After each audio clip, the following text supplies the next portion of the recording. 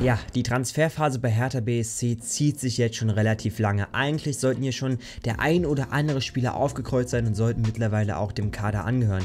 Nichtsdestotrotz gibt es einige unvorhersehbare Probleme und natürlich noch Differenzen. Und damit herzlich willkommen zurück zu einem neuen Video hier auf diesem Kanal. Herzlich willkommen zurück zu einer weiteren Ausgabe der Hertha BSC Transfernews. Ich würde sagen, verlieren wir keine Zeit und schauen wir direkt auf die neuesten Neuigkeiten rauf und fangen wir an mit Javairo Dilrosun. Ich hatte bereits vor zwei Tagen darüber berichtet, dass Javairo Dilrosun wahrscheinlich vor einem Wechsel stehen wird und dieser Gedanke hat sich jetzt bestätigt, denn Javairo Dilrosun steht vor einem Härteabschied. Es gibt einen Interessenten und zwar kommt dieser Interessent aus den Niederlanden und heißt Feyenoord Rotterdam. Ich hatte bereits schon vor zwei Tagen eine Verbindung zwischen den Vereinen hergestellt und jetzt ist es tatsächlich auch offiziell bestätigt worden. In Rotterdam sollte Rosun in die Fußstapfen von Luis Sinestra treten.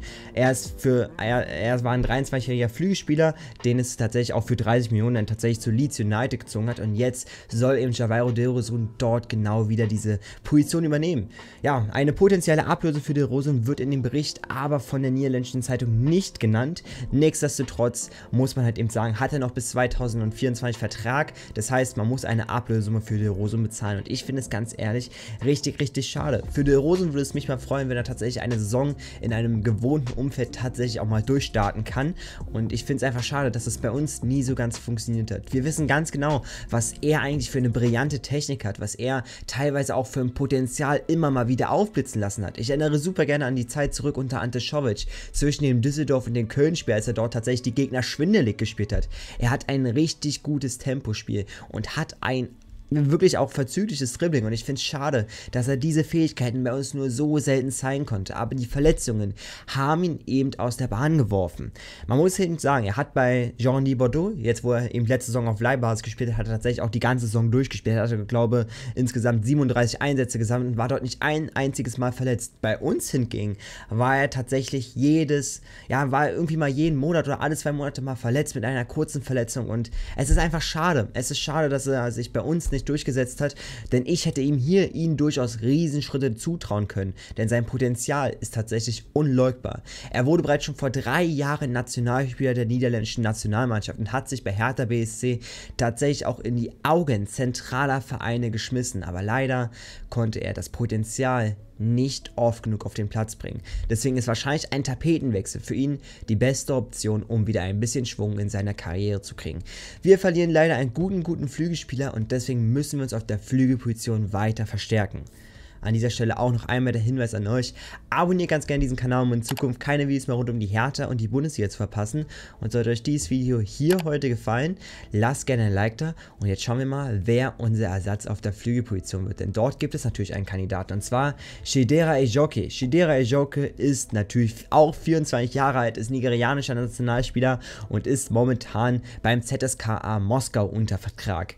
Momentan hatte er aber natürlich diesen Sonderurlaub. Das heißt, er wurde beim ZSKA CSKA Moskau schon offiziell verabschiedet und die Leihe von ihm zu Hertha BSC ist fix. Das heißt, Shidera Ejoke wird wahrscheinlich wirklich auch neuer Hertha BSC-Spieler, denn es handelt sich nur noch um Formalitäten. Dieser Transfer wurde ja bereits vor ein, zwei Wochen verkündet und seitdem ist es recht ruhig geworden um die Verträge. Einige dachten ja, dass dieser Transfer gar nicht mehr zustande kommt, aber es ist tatsächlich so, Hertha muss sich noch nur noch auf diesen Neuzugang ein bisschen gedulden. Die Bild berichtet natürlich, dass der nigerianische Nationalspieler bzw. auch Flügelstürmer auf sein aktuelles Visum wartet. Dieses Visum muss ihm die deutsche Botschaft in Moskau ausstellen und das dauert. Und das dauert richtig, richtig lang. Ja, aber der Abgang von ZSK Moskau steht fest und damit wird Shidera Joker ein wirklich temporeicher, temporeicher, dribbelstarker und abschlussstarker Spieler, neuer Spieler von Hertha BSC. Das steht soweit fest. Dabei wird natürlich ganz klar diese neuen FIFA-Regularien rund um den Ukraine-Krieg in Anspruch genommen. Das heißt, man leiht diesen Spieler erstmal für ein Jahr aus und dann achtet man bzw. schaut man, inwiefern eine Festverpflichtung realistisch ist. Davon profitieren wir. Wir profitieren davon sogar möglicherweise ein zweites Mal. Das wissen wir aber noch nicht. Wie gesagt, der Ijoki-Transfer ist fix, aber Formalitäten wie die Visumsvergabe ja, behindern momentan so ein bisschen diesen Transfer. Und das ist für uns gerade eine echt bittere Situation. Denn eigentlich müsste Joke so schnell wie möglich rein ins Training, so schnell wie möglich auch mit in das zweite Trainingslager, damit jetzt die Automatismen gesammelt werden kann und damit er auch für den Saisonstart gegen Eintracht Braunschweig natürlich auch bereit ist. So, sprechen wir jetzt über die dritte Thematik. Santiago Ascasiba. Ich habe bereits diesen Transfer gestern thematisiert und es gibt einen weiteren Verein, der an ihn Interesse hätte und das ist laut Mondali Poli, einem italienischen Medium, Napoli. Das heißt, der SSC Neapel hat auch Interesse daran, dementsprechend Santiago Ascasiba zu verpflichten und es wäre natürlich für uns auch ein sehr realistischer Transfer. Er möchte die nächsten Schritte bei Napoli begehen und natürlich ist es halt eben auch so, dass Napoli auf der 6er Position momentan noch einen Spieler sucht. Auch bei Napoli ist es halt eben der Fall, dass sie halt eben auch natürlich international vertreten sind, eine Dreifachbelastung haben und daher sich im Mittelfeld breiter aufstellen wollen und dort natürlich auch verschiedene Spielertypen integriert haben wollen. Und grundsätzlich kann man sagen, dass bei Napoli im Mittelfeld auf jeden Fall noch Platz ist für einen neuen Spieler. Auch Diego Demme, Stanislas Lobotka sind halt eben auch Spieler, die eher nicht seinem Spielertyp entsprechen und er würde dort sehr gut reinpassen und eine Lücke füllen. Napoli spielt teilweise mit zwei Sechsern, manchmal auch mit einem Sechser und dort würde er auch perfekt reinpassen. Er würde auch gut zum italienischen Fußball passen und ich könnte ihm diesen Schritt durchaus zutrauen. Nichtsdestotrotz, wenn eben Santiago Ascasiba wechseln würde, wäre eine Ablösung erforderlich. Und diese Ablösung soll laut Hertha BSC am idealsten 12 Millionen Euro betragen. Hertha BSC verlangt vereinsunabhängig 12 Millionen Euro und das wäre für uns natürlich ein riesen Geldring, wenn wir auf einmal einen Transfer für 12 Millionen Euro verwirklichen würden. Denn man muss halt nicht sagen, wir haben Santiago Ascasiba vor zweieinhalb Jahren vom VfB Stuttgart verpflichtet und haben eine Ablösesumme von 10 Millionen Euro bezahlt.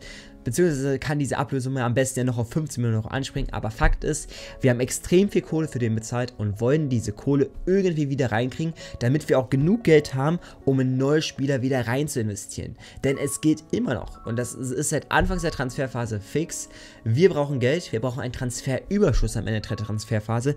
Und dieses Transferüberschuss soll im Idealfall natürlich dementsprechend so rund 10 bis 15 Millionen Euro, wenn nicht sogar 20 Millionen Euro betragen. Und daher sind Verkäufe von Pion Piontek, Alderete, Askasiba notwendig, um überhaupt den Kader zu verstärken. Und gerade arbeitet man hier aktiv erstmal an Billigtransfers, an Laien. Ejoki und Sunjic zeigen ja ganz klar, dass man versucht, Spieler auszuleihen. Und das gibt auch ganz klar die Richtung für diese Transferphase an. Bisher muss man sagen, hatte man in dieser Transferphase ein Plus von 5 Millionen Euro, denn wir haben ja bereits schon Arne Meyer verkauft, und zwar in den FC Augsburg. Bisher ist ein Plus von 5 Millionen Euro zu sehen und das ist grundsätzlich, muss man eben festhalten, noch nicht ausreichend. Deshalb müssen wir noch mehr Spieler verkaufen, deshalb achten wir auch darauf, so viele Spieler wie möglich loszuwerden. Und es ist ja klar, jetzt geht es auch erstmal darum, den Kader auszudünnen. Momentan sind mehr als 36 Spieler und dennoch exklusive den Jugendspielern. Das heißt, mehr als 40 Spieler in unserem Kader vertreten. Der Kader muss grundsätzlich ausgedünnt werden. Einzelne Positionen müssen aber trotzdem punktuell verstärkt werden.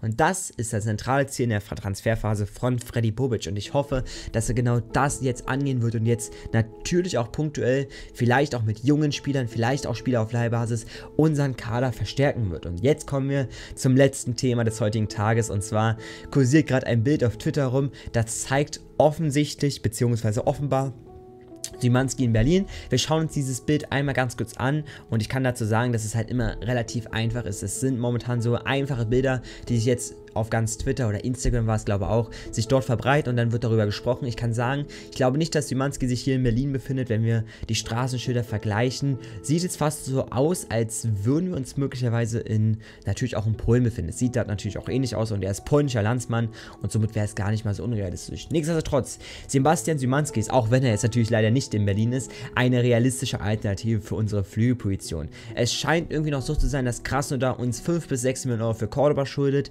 Da darf es aber aufgrund dem Ausschluss von Swift nicht an uns überweisen. Und vielleicht versucht man jetzt innerhalb von Russland, das heißt zwischen Dynamo Moskau und dem FK Krasnodar eine Lösung zu finden, sodass Krasnodar das übrig gebliebene Geld was sie uns ja noch schulden, wegen dem, dem Cordoba-Transfer, wegen den ja bisher noch nicht bezahlten Raten, versuchen sie das Geld vielleicht an Dynamo Moskau zu überweisen. Und vielleicht bekommen wir so möglicherweise ja Sebastian Symanski. Fakt ist, den Ausschluss von Russland aus SWIFT macht uns diesen Transfer momentan höllisch schwer und macht es eigentlich fast unmöglich, feste Transfers nach Russland weg zu ermöglichen. Und das ist sehr, sehr schade. Ähm, ja, es ist ein sehr schwieriges Thema, es wird ein sehr zähes Thema und die 2,5 Millionen Euro Gehalt, die wir für Symanski bezahlen müssten, wären aber auch noch in der Reichweite. Das heißt, momentan ist der Stand bei Symanski unverändert. Es ist ein riesiger Kraftakt und wahrscheinlich könnte das, wenn es ganz, ganz unglücklich läuft, auch gar nicht funktionieren, denn diese Differenz zwischen Russland und Deutschland, beziehungsweise dieser Ausschuss aus SWIFT, macht Verhandlungen auf neutralem Niveau an sich richtig, richtig schwer. An dieser Stelle war es das mit diesem heutigen Video. Ich hoffe, es hat euch gefallen. Wenn ja, lasst super gerne ein Like da. Morgen sehen wir uns dann tatsächlich zurück zu einem neuen Video und natürlich auch einem Livestream, nämlich genau ab 18, äh, ab 19.30 Uhr, wie jeden Sonntag, wie jeden Dienstag. Bis dahin, genießt diesen Abend. Hier in der Endcard könnt ihr euch tatsächlich noch das Video anschauen vom Energie Codebush Spiel, wo ich anwesend war. Schaut euch dieses Video gerne an. Dazu gab es auch eine Analyse. Wir sehen uns, genießt den Abend und tschüss.